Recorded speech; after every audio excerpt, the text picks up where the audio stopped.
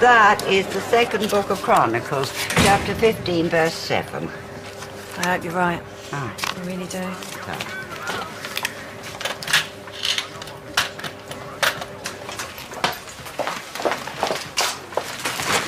Got to keep your works bright. That's what my mum used to say. you only done them last week. You're Hello, Stacey. Think I'm just making work for myself. I'm driving her mad.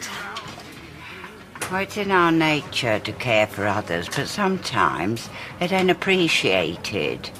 You want to get out of the house more. Get yourself a little job. Oh, no, I couldn't. Why not? You might even enjoy it. I'll put the kettle on.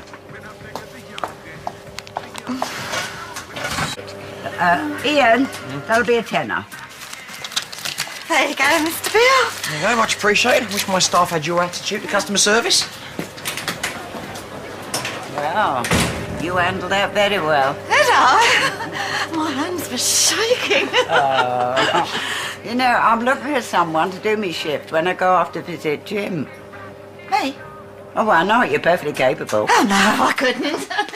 well, maybe, uh, but I'll have to think about it. You've forgotten your tea. Oh, Clare, how'd it go? I tried really hard. I don't think Jane likes me very much.